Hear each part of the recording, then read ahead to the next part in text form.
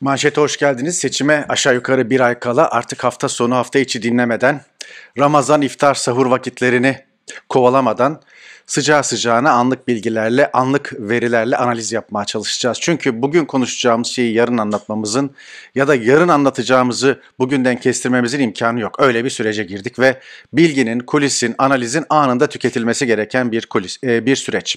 Bugün e, son e, kamuoyu araştırmasına bakacağız. Önemli ve bu kamuoyu araştırması özellikle AKP'nin Muharrem İnce verileriyle de örtüşüyor. Buna bakacağız.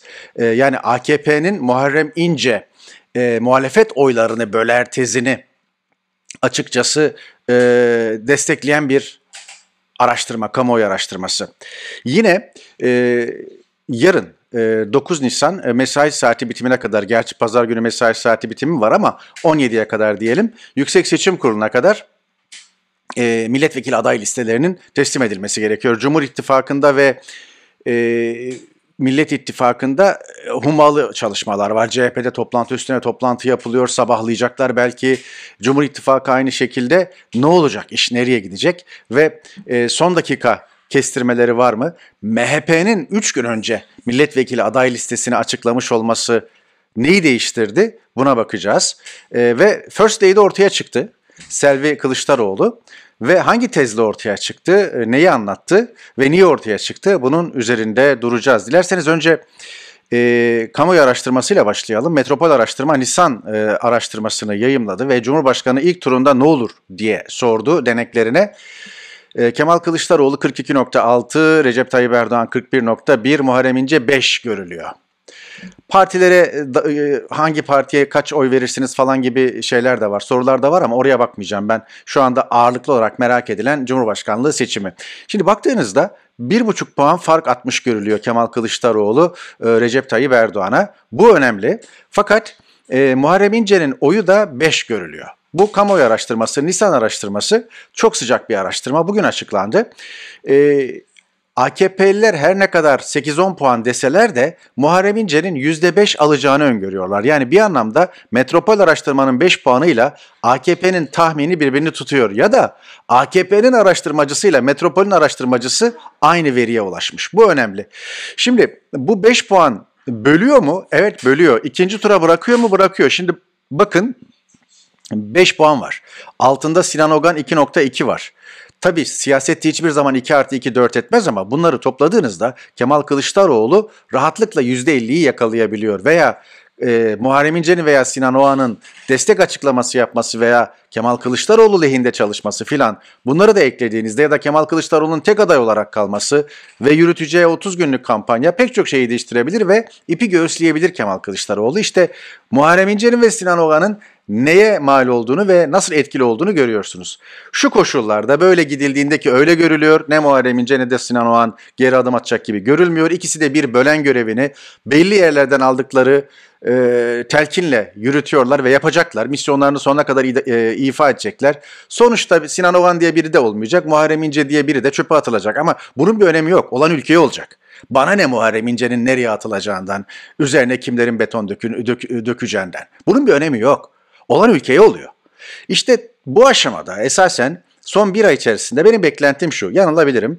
Seçmenin bir mühim duyarlılık göstererek bu konulara bel bağlamayarak gerçekte kime inanıyorsa, güçlü aday kimse, kazanabilecek aday kimse onun etrafında kenetlenmesi ve öyle yürümesi e, gibi bir tahminim var. Bakalım iş nereye gider göreceğiz. Hilal Köylü paylaşmış Ankara kulislerini etkili e, e, yakın biçimde takip eden e, ve gerçekten etkili tweetlere, e, etkili kulis haberlerine imza, imza atan e, meslektaşımız e, Millet İttifakı'nda e, CHP listelerinden dört parti aday gösterecekti. E, bu dağılımı ele geçirmiş ve bunu bunu e, yayımladı e, Twitter hesabından. Deva'ya 7 koltuk milletvekili, e, Gelecek ve Saadet'e dörder e, milletvekili adaylığı, Demokrat Parti'ye ise bir milletvekili adaylığı verileceği öngörülüyor. Demokrat Parti'ye fazla bile ama işte neticede ittifakın bir üyesi olduğu için öyle. Zaten Demokrat Parti'nin genel başkanı Cumhurbaşkanı yardımcısı olacak. Yani etini 100 bin oyu bile olmayan bir parti e, bir Cumhurbaşkanı yardımcılığı, bir milletvekilliği alacak. Bir de bakanlık alacak. Onu da dışarıdan atayacak. Her neyse. Milletvekili de belli. Cemal Engin Yurt Ordu değil İstanbul'dan olacakmış. E, CHP listelerinden aday gösterilecekmiş. Cemal Engin Yurt'u bir kere daha hatırlatalım. 2000 yılında Cumhurbaşkanı adaylığı tartışmalarında Z kuşağı bilmez o gün dünyada değildi veya yeni doğmuştu. E, Sadi Somuncuoğlu Cumhurbaşkanlığı aday olmuştu ve e, Devlet Bahçeli'nin talimatıyla Sadi Somuncuoğlu'nun meclise girmesini engellemiş, arabasını yumruklamış, tartaklamıştı. Böyle bir adam. Her şey kameraların önünde olduğu için yani iddia falan boyutunda da değil. Demokrat Parti de bu. Ama şey önemli. E, Deva'nın 7, e, Gelecek ve Saadet'in 4'er e, milletvekili kontenjanı alması önemli. Belli ki e, işte 7, 4, 4, 15, 16 milletvekili CHP sıralarından. Şimdi e, şöyle de deniyor. Yani e, bu CHP'yi zayıflatacak. CHP 15-21 milletvekilinden feragat edecek. Böyle değil. Yani bu milletvekillerinin e, aday gösterildiği yerlerde yani Deva Partililer, Gelecek Partililer, Saadet Partililer, liderleri e, Millet İttifakı için propaganda yapacaklar. CHP ve İyi Parti için propaganda yapacaklar. Kemal Kılıçdaroğlu için propaganda yapacaklar Cumhurbaşkanı adaylığında. Saadet Partililer de öyle. Yani CHP'den ben açıkçası 15-20 koltuk gidiyor gitmiyor. O işin çok doğru hesaplandığı düşüncesinde değilim. Ama bakın karşınızda çaresiz bir e, Cumhur İttifakı var ve lideri var. E, Erdoğan Başakşehir Kayaşehir metrosu açılışında e, Hüdapar'ın genel başkanıyla yan yana işte görüntülenmiş. Böyle yani e, bir milletvekiline iki milletvekiline ihtiyacı var. İşte gittiler DSP'ye bile bir koltuk iki koltuk karşılığında işte ittifak çatısı altına aldılar. Bu Hüdapar'ın Başkanı da kimdir gerçekten ezbere söyleyemiyorum. Notlarıma bakıyorum. Zekeriya Yapıcıoğlu'ymuş. Evet. O arada enteresan aynı metro açılışında Erdoğan seccade e, muhabbetini sürdürdü. Bakın ellerinde hiçbir şey yok. O kadar çaresiz durumdalar ki seccadeyi ısıtıp ısıtıp kullanıyorlar. Halbuki seccade e, tartışmasının üzerinden bir hafta geçti ama hala bak 8. gün, 7. gün, 8. gün ellerinde bir şey yok. Hala kullanıyorlar. Bu da onların gerçekten çaresizliğini gösteriyor. Bir başka çaresizlik de işte Cem, e, Kemal Kılıçdaroğlu ile karşılaşan Trabzon'daki bir kadın işte aslında başı kapalı değilmiş de başı açıkmış da Marmaris'teymiş de filan falan. Böyle de bir dezenformasyona imza attılar. halbuki ikisi de aynı yani isim benzerliği olan kadınlardı. Biri Trabzon'daki yani Kemal Kılıçdaroğlu ile karşılaşan kadın Özlem Şahınoğlu'ydu. I'nın i'nin noktası yok. Ee, Marmaris'teki CHP'li kadınsa Özlem Şahinoğlu'ydu. Fakat her ikisi de basın toplantısı yaptılar ve her ikisi de mağdur edildiklerini, hedef gösterdiklerini söylediler. Hele Marmaris'teki tehditler alıyorum dedi. Sosyal ağ çağında gerçekten attığımıza, yaptığımıza, paylaştığımıza dikkat etmemiz gerekiyor. Bir başka paylaşımda olan şey, oğlun erkek arkadaşıyla evlensin mi? Şimdi e, şeyi Temel Karamollaoğlu'nun ve e, ne bileyim şeyin fotoğrafını koyarak e, Meral Akşener'in fotoğrafını koyarak bu paylaşımı işte dolaşıma soktular falan. Yani ben bunu görünce aklıma ilk gelen şu oldu. Oğlunun erkek arkadaşı olmasını kabul ediyorsun ama evlenmesine karşısın. E, eşcinsel evliliği için kampanya mı yapıyorsun? E, aklıma bu geldi ama o, o, o bu değil. E, e, her türlü bel altı çalışmayı, her her türlü e, dezenformasyonu kullanacaklar e, ve e, son bir ayda da e, şapkadan çıkaracakları yeni farklı bir e, tavşan yok. E, eski DSP'li Ahmet Tan paylaşmış. 2009 yılından beri Ecevitlerin DSP ile DSP'nin de Ecevit'le iliş, e, ilkeleriyle Ecevitlerin ilkeleriyle hiçbir ilgisi ve bağlantısı kalmamıştır filan. Yani 2009 yılından beri mevcut DSP ile diyor.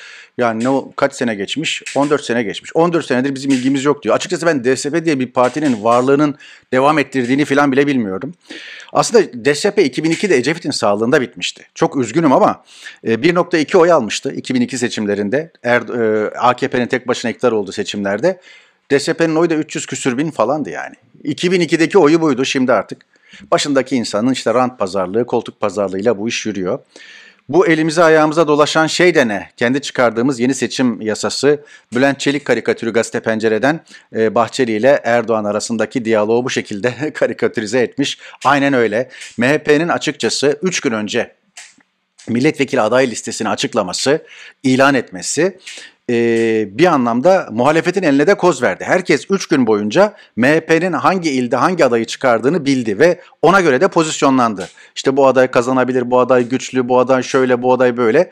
E, esasen partiler son dakikaya kadar bunu saklamazlardı. Şey saklarlardı ve bu bir sır olarak tutulurdu. E, kimse kimseye de konuşmazdı, söylemezdi. Niye? E, herkes e, aday listeleri teslim edildikten sonra öğrensin diye. Niye? Kimin elbette aşağı yukarı biliniyordur bu isimler ama 600 kişilik aday listesini küt diye açıklamak 72 saat öncesinden e, rakiplerinizin eline koz vermektedir, vermektir. E, Türkiye'de siyaset böyle oynanıyor. Muhtemelen MHP'nin gösterdiği adaylar üzerinde e, Millet e, Millet İttifakı farklı projeksiyonlar yapabilir, yapacaktır da zaten. Bir anlamda bu e, Devlet Bahçeli'nin Cumhur İttifakı'na ve Tayyip Erdoğan'a attığı bir gol olarak da görülebilir. Ben demiştim demeyi sevmiyorum ama Erdoğan kendi altılı masasını kuruyor diye yazmıştım TR724'te.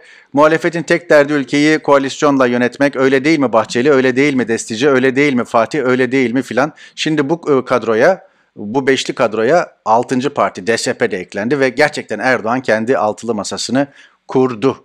Öyle görülüyor. Ya milletvekili oy pusulasına bakar mısınız? Onlarca parti var. Yani bu Türkiye'nin zenginliği değil. Bu buradaki partilerin yarısından çoğunun ismini bile bilmiyorsunuz. Yani bu gerçekten Türkiye'nin çok demokrasi ülkesi olduğunu, seçimlerin şahane hür bir ortamda yapıldığını, insanların adil bir şekilde, serbest bir şekilde oy kullandığını falan göstermiyor. Bu kadar çok partinin seçime girmesi söyleyeyim doğru da değil, e, demokratik de değil, e, şey, yani normal de değil. Hayatın akışına ters yani. Ya gerçekten öyle yani. Ee, ama işte oluyor. Bir diğer konuyu da Ersel Karakaş yazmış. Biz genç yaşlarımızda seçime katılımın e, yüksekliğinin e, iyi bir şey olduğunu düşünürdük. Aslında iyi bir şey değil. E, seçimlere katılımın yüksekliği çok kötü bir göstergedir diyor Eser Karakaş e, son makalesinde. Gerçekten de öyle. Bizim yaşadığımız batılı ülkelerde seçime katılım %50'ler, 55'ler taş çatlası 60'lar seviyesinde. Bu da olması gereken. Yaşadığımız yerlerde insanların gerçekten siyasetle alakası yok. Bakanların ismini bilmezler, e, milletvekilleri kendi bölgesinin milletvekilini bilir, onun dışında siyasetle ilgilenmez. E, siyasi kanalları, siyasi haberleri sadece meraklısı takip eder falan. Yani hayat, hayatın içinde bu yok. İnsanların bambaşka meşgaleleri, bambaşka gündemleri var yani. Gerçekten de öyle. First Lady'liğe ilk adımı attı Selvi Kılıçdaroğlu. Twitter hesabını açmakta biraz geç kaldı ama ilk koyduğu videolu mesaj 3.3 milyon seyredilmiş ilk 24 saatte. E, açlık meselesini gündemine almış ve belli ki Selvi Kılıçdaroğlu eşi Cumhurbaşkanı olursa açlık meselesi üzerinden yürüyecek. First Lady'lerin bir misyonu olması gerekir ve bir takım sosyal faaliyetlerde bulunması gerekir. E, gönüllü gönülleri cesaretlendirmesi, e, ne bileyim işte e, gerek ülkesinde gerekse dünyada sivil toplum örgütleriyle e, hayır faaliyetlerinde falan bulunması gerekir. Emine Erdoğan'a sıfır atık projesini uydurmuşlardı. Selvi Kılıçdaroğlu da kendisine açlık meselesini çekmiş. Neden olmasın ki Türkiye'de de dünyada da ciddi bir açlık konusu var. Bülent Arınç en son artık katıldığı bir programda eskiden 70 TL'ye doldurduğunuz file 500 TL'ye dolmuyorsa bir şey var kardeşim bunu görmezden gelmeyin demiş. Sorunu kabul etmek lazım. Geçmiş olsun 10 senedir 12 senedir görmediniz. Esasen e, hukukun ekmek olduğunu en iyi bilecek isimlerden biridir. Hukuk mezunu Bülent Arınç ama 10-12 senedir görmedi görmezden geldi ve neticede hukuksuzluk, adaletsizlik, ekmeksizliği de beraberinde getirdi. Dünyada gıda fiyatları 12 aydır düşüyor, Türkiye'de 31 aydır yükseliyor. Yani e, tezata bakar mısınız? Tadım kuru yemiş 180 gram 112 TL diye gördüm Türkiye'deki bir market rafında. Çevirdim pound'a üşenmedim 5 pound ediyor. Bir oturuşta bitireceğiniz 180 gram Antep fıstığı, 180 gram Antep fıstığı bir avuç 112 TL. İngiliz e, sterliniyle 5 pound. Yarısından daha az fiyata burada alabiliyorsunuz. Türkiye'nin nasıl pahalandığını gördüm, ürktüm yani. İşte yıllık gıda enflasyonunda grafiği vermiş Euronews. Dünya fiyatları eksi 21 düşmüş, Türkiye'de gıda fiyatları o da TÜİK'e göre %67 artmış ki e, bu üç haneli rakamlarda yani. Kapatırken cumartesi anneleri 850. haftada da gözaltılar vardı. Madem meydanları bize yasakladınız o halde bir de e, size soralım failler belli kayıplarımız nerede? E, Leman kapağında cumartesi annelerini işlemiş ve bir e, dramla noktalıyoruz manşeti. Ekstra manşet hafta sonu manşetini. Eski Polis Akademisi öğretim görevlisi hakkında ölümünden 7 ay sonra tahliye kararı çıktı. Bu rejim yargısında üstelik. Bu rejim yargısında.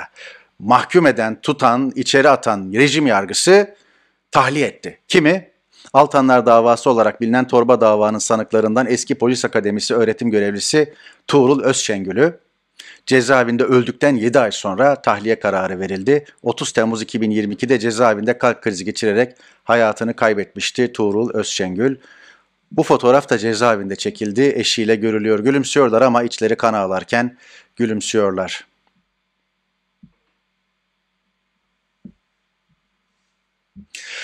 Bir manşeti daha böylelikle noktalıyoruz. Herkese iyi hafta sonları. Pazartesi görüşmek umuduyla.